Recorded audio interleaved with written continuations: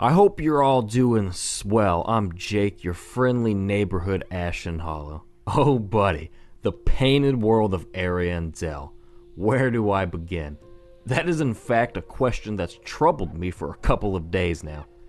This DLC brought a very deep amount of lore to the table, but with how deep it gets, it's equally vague, so there's quite a bit of dissecting to do, as well as making our own points. And well, you guys know me best as the lore guy who sits in a smoky basement with my hair in a fritz connecting red strings to hundreds of pictures and newspaper clippings on my wall to pull these seemingly crazy but still sensible theories out of my ass. And let me tell you, when I bought this DLC, I bought another 1200 yards of red string with it.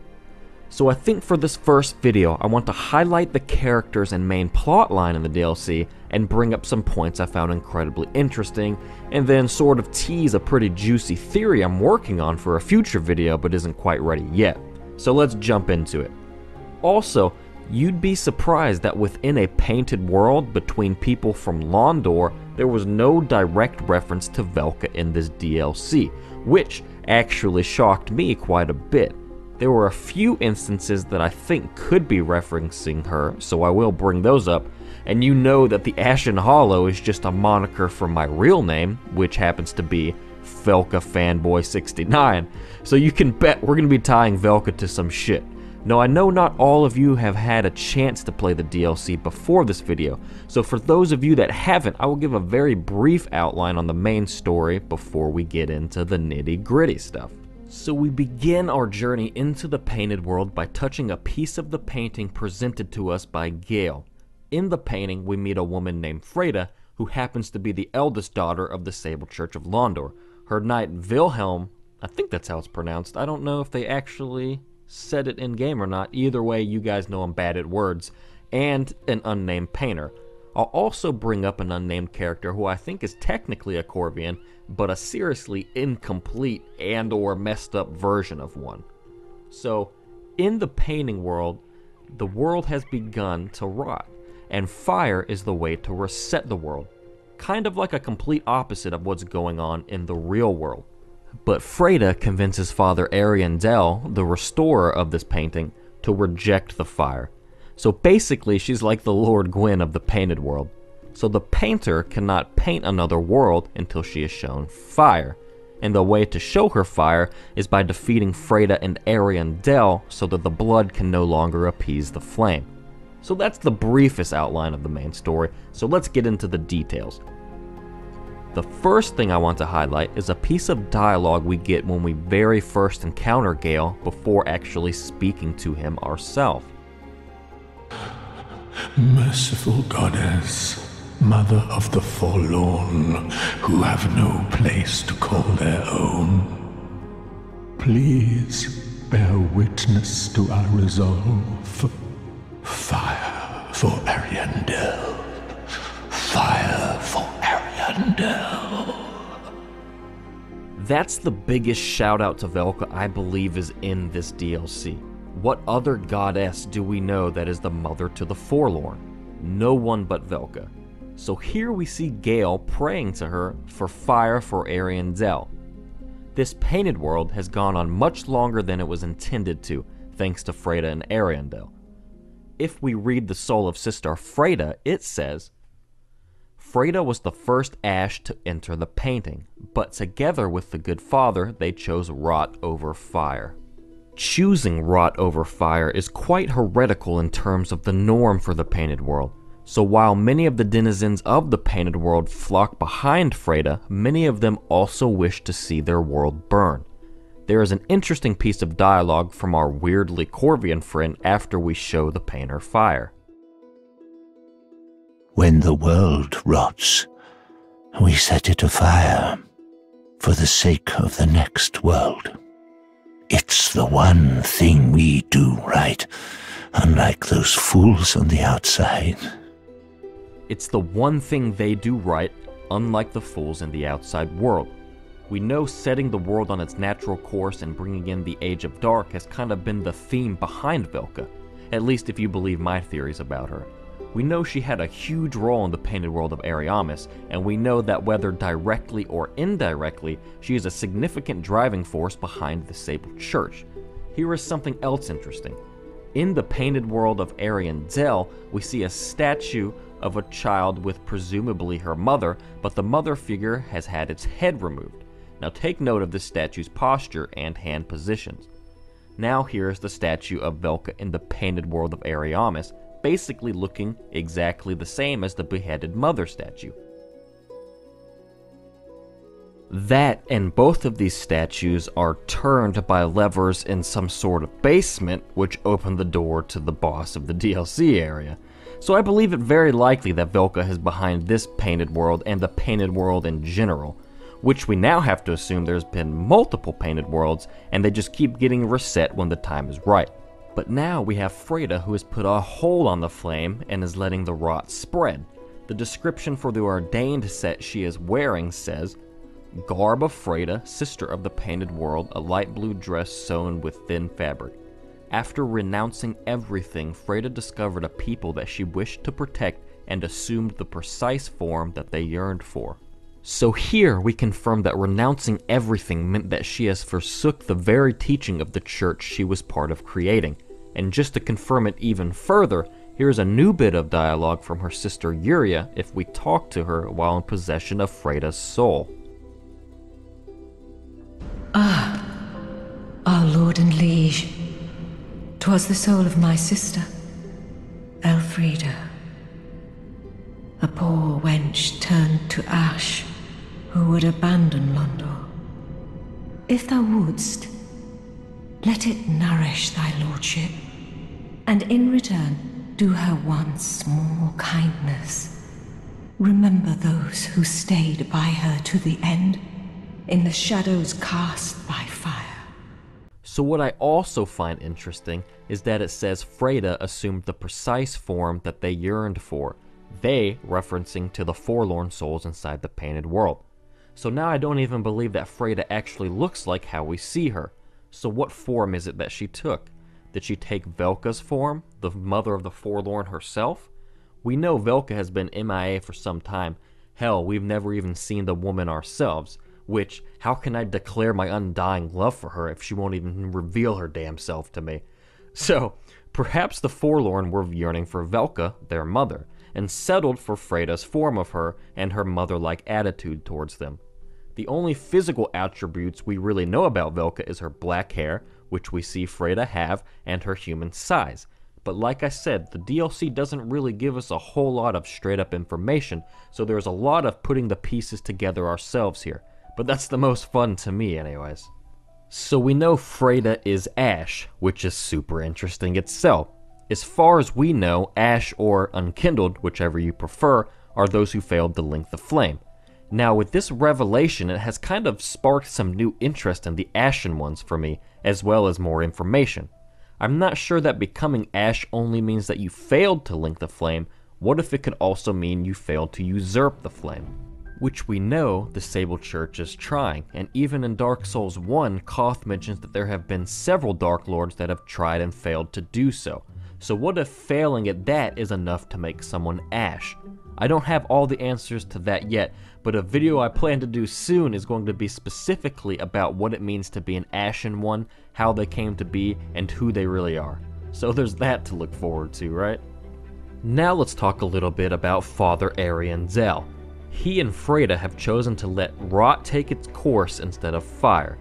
Let's read the Rose of Ariandel a flail used by the bulbous father of the painted world to shred his own skin, producing blood to appease the flame, both a weapon and a miracle catalyst. Ariandel, being the restorer of the painted world, knew that it was painted with blood and only blood could protect the secret. That is definitely interesting to learn, that the painting is painted with blood. Also, that Ariandel is the restorer of the painted world, I'm curious as to what the difference between restoring the painted world and actually painting the painted world is. That's something I hope to crack soon, but it seems likely that with each passing painted world, there seems to be an appointed father, if you will, to watch over and perhaps to help the flame when the time is right. In this world, we know that role obviously falls to Ariandel, but maybe in the last painting that we know of, this role was given to Ariamis. Now, my favorite character introduced in this DLC is the painter, so let's talk about her now. We first find her locked away in a. I don't want to call it an attic per se, perhaps just the second story level, but we won't worry too much about Painted World architecture at the moment. I think it's obvious she's locked away by Friede, a big hint being Wilhelm has the key and is very hostile right below. And the painter herself says, I believe I feel the scent of ash upon thee. Thou art the one of whom Uncle Gael spoke, the one to show me flame. Tis good. When this is done, may I return. The door is open thanks to thee. Tis good. I'll head off to paint. I promised Uncle Gael I would. So she cannot paint a new world until she is shown flame. Coincidentally, she also can't without a friggin' canvas, all of which can't happen if she's hidden away, so, well played, Friede. Something I strongly believe is that this painter is quite likely the daughter of Priscilla. And no, it's not just because of the white hair. Let me explain. First, let's listen to what she says when aspiring her painting. I wish to paint a picture of a cold, dark, and very gentle place. One day, it will make someone a goodly home. That's why I must see flame. That's very specific. We know the painted world is a cold and dark place, no doubt. And it's like Priscilla said herself when we first encounter her in the painted world of Ariamis this land is peaceful, its inhabitants kind. That correlates with being a very gentle place. It seems she aspires to paint a world just like the one Priscilla dwelled in. Perhaps this painter's kind and gentleness herself was passed from mother to daughter. There's also this. First, notice the eyes. Now, while a different color, they're the exact type of eyes that Priscilla has as well. Then the scales. The only humanoids we know to have scales are the half breeds we know Priscilla, Yorshka, and now this painter. It looks kind of like the scales are spreading on her, sort of like an infection or something. I first thought that perhaps it's the rot, but considering her eyes and the fact that it looks like scales and is patterned like scales, well, it just wouldn't make any sense for it not to be scales. But still, it appears like they are being spread through her body. Even up her arms, we can see it. I'm not sure exactly what this all means, and she does not have a tail, by the way. I did zoom up her skirt to check. I'm not perverted, I just needed to know. Well, I think I know what it could mean, maybe, which leads me to the reveal of a quite difficult and large theory I'm working on building a case for that will get its very own video in the future, and that's that maybe primordial serpents are behind this whole thing. Perhaps the Sisters of the Sable Church are serpents themselves. Serpents or snakes are just imperfect creatures that didn't become dragons, so they would still carry a lot of genes that the dragons would. So maybe Priscilla's father isn't Seath, the easiest choice. Londor loves to conceal their true selves and encourages Hollows to do the same per their untrue rings. We also know Friede has taken a form, and let me also point out that she's the only NPC to share an eye color with Kaathe, and we know the Sisters of the Church to be very close to Kaathe. There is also this statue behind Ariandel as well bottom half serpent, top half man. And don't forget the statues in Lothric that are quite the opposite bottom half man, top half serpent. So perhaps they are able to take on human forms. But I'm just chipping away at this theory. Now don't take my word for it just yet. It is still something I have to put a lot of time and thought into. I just thought it would be interesting to tease at for you all. Now, on to the most interesting thing the painter has to say. I can almost see the flame. Soon, Uncle Gael will bring me the pigment. I wonder if he has found it. The dark soul of man.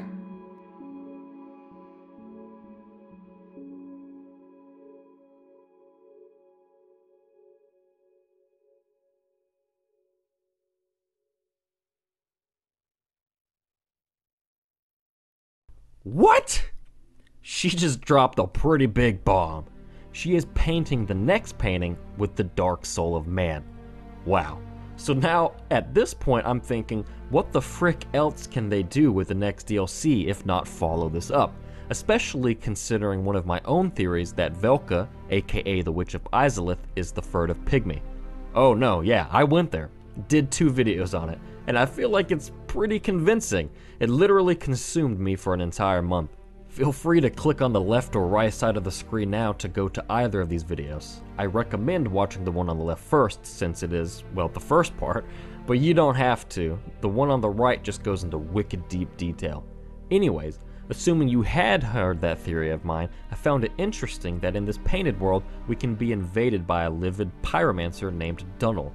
What's more is that he is using Chaos Pyromancies, another Chaos Pyromancer in a painted world. Wink wink. But now, on top of that, he wields the Chaos Blade itself, the sword born from Quelaag's soul. Plus, the new pyromancy we get right before fighting him, and the one he showcases, Floating Chaos, reads Pyromancer Dunnel was fascinated by the ceremonial art employed by the clerics of the Smoldering Lake. Chaos burns away in the blink of an eye, but was the primordial life born in the bed of chaos and a grievous symbol of Izalith's sin which is interesting given that I argue that the first sin wasn't Gwyn linking the fire, but rather the witch's attempt to recreate it. We don't ever see anything referencing that Gwyn had sinned, but here it is, plain and simple, that Velka did. Now, to start wrapping things up, I just want to delve into some curiosities I found while exploring the DLC and things I hope may spark into bigger theories in the future. So let's consider the Sisters of the Sable Church. We know they are all very capable swordsmen, so much in fact that they were able to found the Sable Church with just the three of them. The only one of the swords they used that we know of for sure is Yuria's Dark Drift. But what if another one of the blades is Black Blade? Off the bat, let me just mention how fitting both of the names of these swords are to Londor. Dark, Black, sword names that Edgar Allan Poe would be proud of. The description of Black Blade says, a short katana wielded by the swordsman and distinguished guest of High Lord Wolnir. This shiny black blade is thick but shorter than the typical katana. The swordman was a master of a rare technique, traces of which can be observed in this weapon's strong attack. So, what's interesting about this is the swordman was a distinguished guest of Wolnir. Born from Wolnir's soul is the Black Serpent Pyromancy, which, in the final phase of fighting Friede, when she goes all humanity berserk, which by the way is awesome that she'd have that much of the Dark Soul, especially considering her kin to be the progenitor of the Dark Soul, Velka. Anyways, with her scythe, she casts the Black Serpent Pyromancy. Which, if Friede could have been the guest of Wolnir, he could have taught her. That, and back in correlation with Dark and Chaos being very closely related, the Black Blade says that the swordsman was a master of a rare technique which we can observe in its strong attack, which is the exact same strong attack as the original Chaos Blade in Dark Souls 1, which is cool again if we're considering that Dark and Chaos are related and that all the main faces associated with each are related as well. So a potential daughter of Velka could have had the blade that was born from another one of her daughter's souls. Plus, we see Friede assume this stance with her scythe, which the player is unable to assume using the same weapon. That seems to be very similar to the Black and Chaos Blade's unique attack. Well, I believe that about covers it for now. Don't worry, I definitely plan to cover the other story arcs in this DLC. I'm particularly interested in the Champion's Gravetender and the Gravetender Great Wolf, but I mostly wanted to talk about the main DLC story arc in this video. I'm also very interested in the Pontiff Sulyvahn revelations we get in this DLC, in the fact that the profaned greatsword says that the Pontiff found the profaned flame in a tundra deep under Irithyll, which could maybe be in reference to this painted world. So, many videos are planned for the near future, including a player made PvP covenant I'm working on. I can't give you too much to go on yet, but since I am Velka Fanboy 69, the Covenant will be called the Sin Bros. So a lot of stuff I'm super excited to start jumping into, and I hope you guys are looking forward to them as well. Thanks for watching everyone. I'll catch you next time.